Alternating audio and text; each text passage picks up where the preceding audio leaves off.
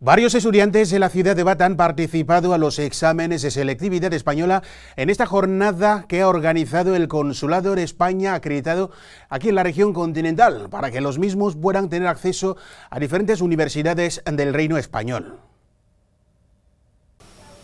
Estas pruebas se han llevado a cabo en las diferentes aulas del Colegio Español de esta ciudad de Bata, donde varios estudiantes de los diferentes centros educativos, cada uno con su mascarilla y guante, se han concentrado en la mañana de este miércoles para participar a esta evaluación que da el acceso a las diferentes universidades de España.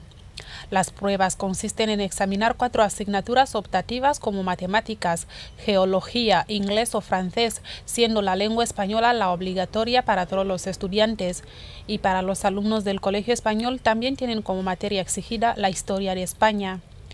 Carlos Revuelta, uno de los controladores de estos exámenes, ha explicado ante los medios cómo se están desarrollando estas pruebas este año a pesar de la pandemia. Todos los años la UNED organiza eh, la selectividad aquí en Guinea Ecuatorial. Generalmente viene un tribunal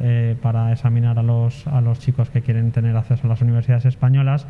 pero este año como consecuencia de la crisis sanitaria ese tribunal no ha podido venir y, para que los eh, chicos no pierdan un año escolar pues se les está haciendo la prueba, entonces estamos colaborando tanto el Consulado General de España como el Centro Cultural de España en Bata, aquí en, en, en esta ciudad y en Malabo están haciendo lo propio las instituciones de la Embajada y el Centro Cultural de, de Malabo.